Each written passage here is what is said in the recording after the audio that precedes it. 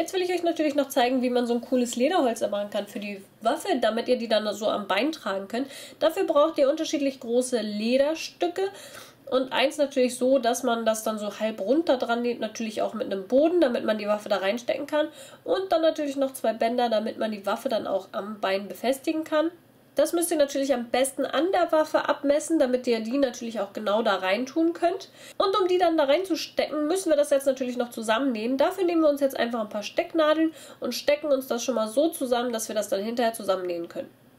Wenn ihr euch das dann festgesteckt habt, dann sieht das in etwa so aus. Und wenn ihr das dann fest genäht habt und dann umdreht, dann habt ihr hier auch immer so eine schönere Kante. Und dann wollen wir das natürlich noch auf dem größeren Stück natürlich befestigen. Und bevor wir das festnähen, müssen wir natürlich auch noch die Lederbänder natürlich an dem größeren Stoff befestigen, damit die dann unter dieser Tasche sind, damit man da natürlich die Nähte dann nicht so sieht. Dann nähen wir natürlich die Tasche dann hinterher auf diesem großen Lederstück fest und um die Bänder dann hinterher am Bein zu befestigen, nähen wir dann auch noch ein bisschen Klettverschluss an die Enden dran.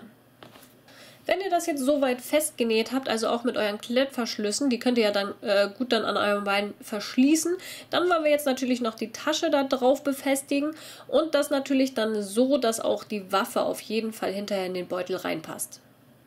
Wenn ihr das jetzt so alles zusammengenäht habt, dann ist eure Tasche auch soweit fertig. Jetzt könnt ihr eure Waffe dann immer rausnehmen und dann natürlich auch wieder in den Beutel reinstecken. Und mit dem Klettverschluss, was ihr dann da dran genäht habt, könnt ihr das einfach an eurem Bein befestigen und dann habt ihr auch ein fertiges Holster. Die Schuhe für das Steampunk-Kostüm habe ich mir einfach in so einem günstigen kleinen Schuhladen gekauft, die, der bei mir so um die Ecke ist.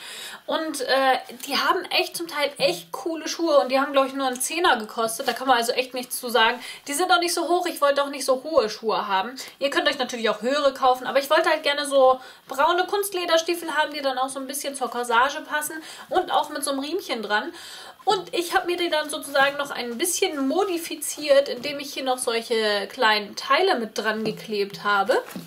Dafür habe ich mir ja bei Ebay dann so kleine äh, Mixtüten gekauft, wo dann so verschiedene Steampunk-Teile sozusagen drin waren. So Federn, eventuell auch zum Teil so Totenköpfe, Scheren und sowas.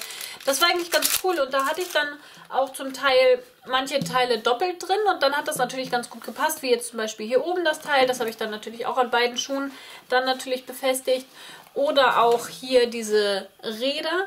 Die Flügel hatte ich mir, glaube ich, mal in einem Kreativmarkt gekauft. Also in solchen Bastelläden haben die auch öfter mal solche Schmuckteile und da habe ich dann gedacht, dann mache ich doch so ein bisschen so Hermes-Schuhe draus und habe dann so kleine Flügelchen da dran geklebt oder halt auch noch so ein paar Zahnräder und so kann man dann ganz einfach auch noch äh, die Schuhe so ein bisschen modifizieren und noch ein bisschen umändern, damit es dann auch so ein bisschen äh, individueller noch aussieht. Und die habe ich mir einfach mit so einem Alleskleber festgeklebt und das hat dann auch relativ schnell funktioniert und es hält auch wirklich super gut an diesem Kunstleder dran. Ja, und damit hätten wir dann auf jeden Fall alle Teile fürs Damenkostüm zusammen. Ja, und so sieht dann das fertige Ergebnis aus. Das habt ihr ja am Anfang auch schon gesehen. Und natürlich auch noch das passende Make-up und die Frisur dazu. Bei mir sieht das natürlich nicht ganz so toll aus, äh, da mein Modell Haare hatte so bis hier. Und wenn man deren Zopf gemacht hat, war der so groß. Also die hat so heftig viele Haare gehabt. Äh, da hatte ich auch wirklich einiges mit zu tun bei der Prüfung. Ich habe das jetzt versucht mit meiner Haarlänge so ein bisschen nachzumachen und äh, das Video werde ich euch natürlich auch noch verlinken, wie ich das Make-up und die Haare gemacht habe und natürlich auch noch mal ein Video, wie ich das Haarteil hier erstellt habe. Und so könnt ihr euch dann euer Steampunk-Kostüm dann selber zusammenstellen. Ich hoffe, euch gefällt das Kostüm. Wenn ihr jetzt Männer seid und sagt, äh, Frauenkostüm passt natürlich nicht, habe ich nächste Woche natürlich auch nochmal ein Kostüm-Tutorial für ein Männerhemd. Da könnt ihr euch ja dann vielleicht auch einige Inspirationen holen, wie ihr vielleicht sowas machen könnt. Äh, es gibt ja nicht nur Frauen, die hier meinen Channel gucken. Dementsprechend habe ich dann natürlich auch mal was für die Männer. Und für meine Prüfung musste ich ja für einen Herrn und eine Dame Kostüme herstellen, beziehungsweise natürlich auch Styling und sonstiges dazu machen. Und darum wird das nächste Woche natürlich auch noch kommen. Wenn ihr gerne noch mehr Kostüm-Tutorials oder auch Make-ups und sowas sehen wollt, dann gebt doch dem Video einfach einen Daumen nach oben. Ich würde mich sehr darüber freuen. Und dann sage ich einfach bis nächste Woche und bis dann. Bye, bye.